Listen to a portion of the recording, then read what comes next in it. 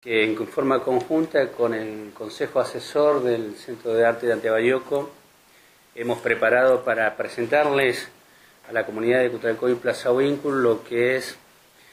el desarrollo de todas las actividades que vamos a, llevar adelante en el mes de septiembre. Por eso me acompaña Gustavo Torres, eh, quien junto al Grupo de Teatro del Pasillo van a llevar eh, distintos seminarios y talleres, seminarios de actuación, talleres de coreografía, como así también una presentación de un grupo de teatro de Neuquén Capital que nos va a visitar para el próximo 18 de julio. Por otro lado, también está Roberto Bellomo, que es un vecino colaborador del Consejo Asesor y además, eh, en alguna medida, parte de este grupo de fotografía que ayer se entregaron certificados de la finalización del segundo eh, curso llevado aquí en la sala de Antebayoco. Por otro lado, eh, Graciela Candia, eh, que está a mi izquierda, también ella es coleccionista. Se va a llevar a cabo el próximo 9 de julio en adhesión a lo que es la fiesta patria, una muestra de antigüedades, en este caso de porcelana y cristalería y además eh, también con Esteban Sade, eh, Daniela Baigorria, Mercedes Ferreiro estamos trabajando y hemos venido eh, desarrollando un trabajo de, investigación y acercamiento hacia los primeros pobladores de Cutralcó y Plaza Huíncul, perdón, de Cutralcó, donde va a ser inaugurada una muestra de 16 familias que se asentaron en nuestra localidad en los primeros tiempos del crecimiento y de la fundación de, de Cutralcó.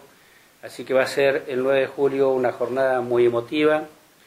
que nos va a permitir además poder volver a revivir lo que son las fiestas patrias, es nuestro objetivo, donde nos van a acompañar tres cuerpos de danzas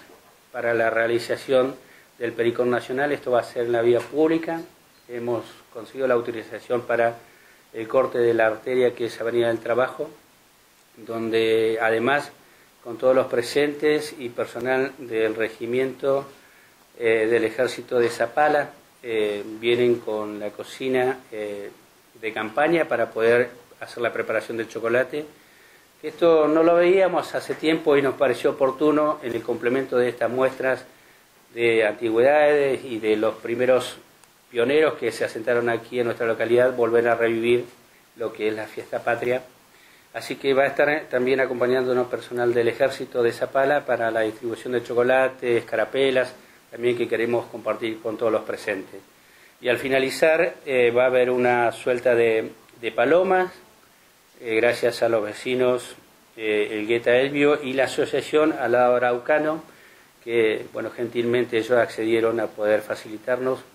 las palomas que tienen a su resguardo en un criadero para poder hacer este cierre con la suelta de palomas. Así que quedamos a disposición de ustedes para comentarles más en detalle de lo que son el desarrollo de estas actividades que queremos para el mes de julio y en particular convocar a todos los vecinos aquí para el 9 de julio y vivir el Día de la Independencia con estas actividades y además eh, como se merecen las fiestas patrias aquí en nuestra ciudad. Sí, ya está previsto con la Dirección de eh, Control Urbano, la Dirección de Tránsito, el corte aquí en calle Sarmiento y Avenida del Trabajo para eh, interrumpir el tránsito vehicular, lo que van a ser más o menos de las 9 hasta las 12, para poder disfrutar en familia esta verdadera fiesta patria que queremos presentar hoy a la sociedad y convocarlos a todos a partir de las 10 de la mañana aquí en Avenida del Trabajo 570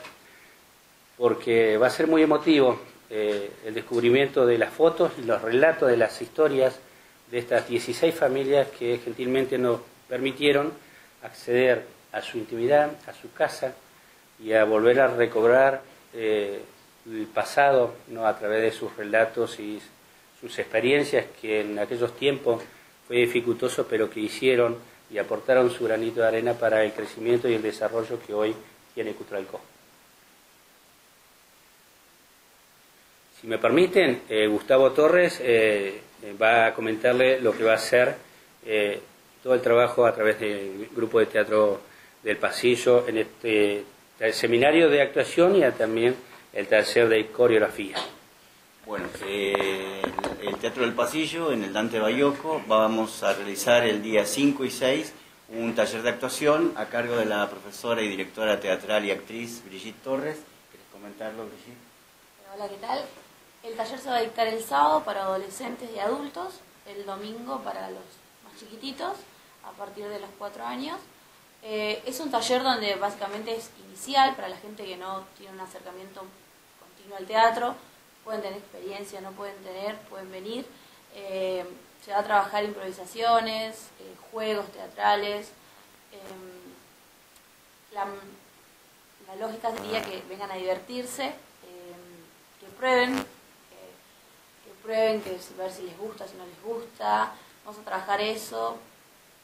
Eh, también estamos con un montón de otros talleres, mucha gente viene de, Yo, por ejemplo, tengo compañeros que vienen después a seguir dando talleres de... Exactamente, bueno, entonces 5 y 6 de julio tenemos el taller de actuación. El día 11 de julio tenemos un taller de danza ah, dictado por la profesora Tatiana Saavedra eh, de Lyrical Jazz y Street Dance. El día viernes 11 de julio. Y el día viernes 18 de julio viene un grupo de teatro Neuquén dirigido por el actor y director Luciano Núñez a traer un espectáculo de café con cera a partir de las 21.30 aquí en el Dante Bayoco. Así que las actividades del Dante Bayoco